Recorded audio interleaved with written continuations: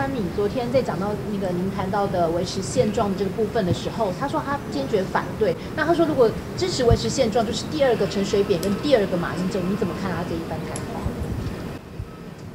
嗯，他讲的有一点抽象哈，不过我们尊重这个辜先生的看法了。有机会的话，我们会去跟他请益，交换一下意见。主席，所谓的现状到底是什么？嗯，我已经讲好几次了，就是维持台海的和平，那也让两岸可以稳定发展。主席，您稍晚要跟岸信夫见面哦，那有没有大家具体会谈些什么？嗯，我们没有既定的议程啊，哈，那嗯。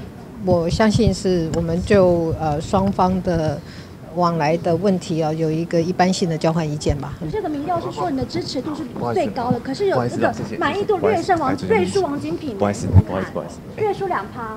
没看过那个民调耶。谢谢，来，为什么选择那个洋葱炒蛋当成这个外带食物，就是台湾美食，选择洋葱炒蛋？对呀，因为那个是我最熟悉的食物，也是最平民化的食物嘛。好，谢谢，来，谢谢，来这边请。